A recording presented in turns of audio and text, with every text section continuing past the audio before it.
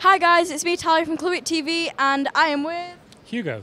and basically there is a new product at the Mad Mattr which basically you might have heard of Mad Mattr. Um, it's this amazing like almost sand like thing where you can make it really hard and then you stretch it and it's so soft.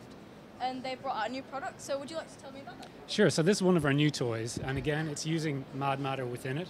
It's called the uh, Mad Mattr Meteor Monster. So inside this pack, it's a blind pack. You get a variety of different toys. So you get uh, two ounces of colored sand and a mystery monster inside. And these are collectibles, uh, and some have uh, rare powers, some are glow in the dark, and they all come with a little bio.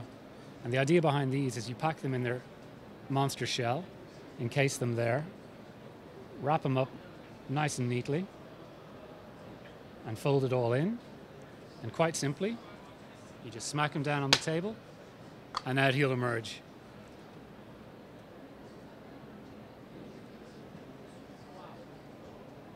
That is really cool. Wow.